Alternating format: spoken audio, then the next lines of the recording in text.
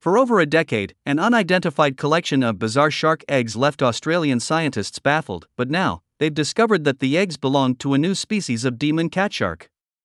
The shark Apristurus ovicorrugatus was identified as a new species over a decade after the first mystery egg cases were found in a Western Australian museum collection. A new species of deep sea shark with bright white eyes has finally been identified, decades after a dead pregnant female of the species was first collected off the coast of Western Australia. The ghost shark was initially misidentified and was only pegged as a new species after scientists took a second look at its bizarre egg cases that had languished in museum storage for years. The newfound species, which was described in a new study published April 23 in the Journal of Fish Biology, has been named Apristurus ovicorrugatus, which is derived from the Latin for egg, ovi, and corrugatus, meaning corrugated, in reference to the corrugated egg cases that led to the species' discovery. Along with its unique egg cases, Ovicorrugatus also possesses unusual, shiny white irises. This is not a common feature for a deepwater species, and only one other species, Apristurus nakayai from New Caledonia and PNG, Papua New Guinea, shares this character, study lead author Will White, an ichthyologist with Commonwealth Scientific and Industrial Research Organization, CSIRO. Apristurus is a genus of cat shark. They are commonly known as ghost or demon cat sharks. It is one of the most diverse shark genera in the world, with around 40 known species. While the majority of shark species give birth to live young, the rest are oviparous, meaning they lay eggs. The egg cases, also known as mermaid's purses, often have long tendrils that allow them to attach to seaweed or rocks. In 2011, researchers came across an extremely strange egg case containing a shark embryo.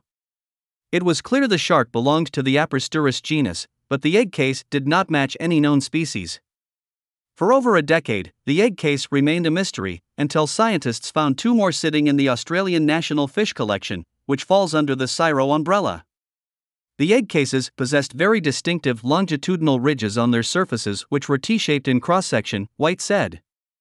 Only one other species in the world has been found to have egg cases with that form of ridging, and that is a different genus entirely.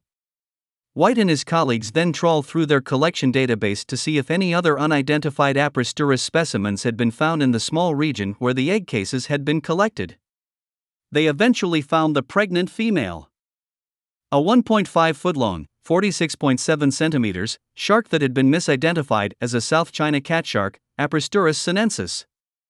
The female was carrying a single egg case and it matched the one they'd found a decade ago. Luckily, the female specimen we found contained an identically ridged egg case and confirmed our suspicions, White said. Researchers say the discovery of A. ovicorrugatus highlights the importance of egg case shape to identifying species.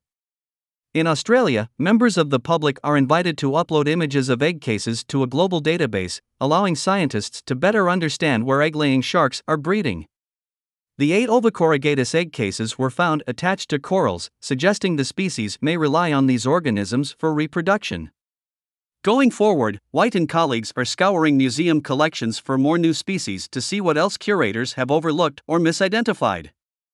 Dr. White expected more discoveries in coming years. We just know very little about deepwater fauna in Australia, he said. As more deepwater surveys continue, I think we'll uncover more species records, there's still a lot to come.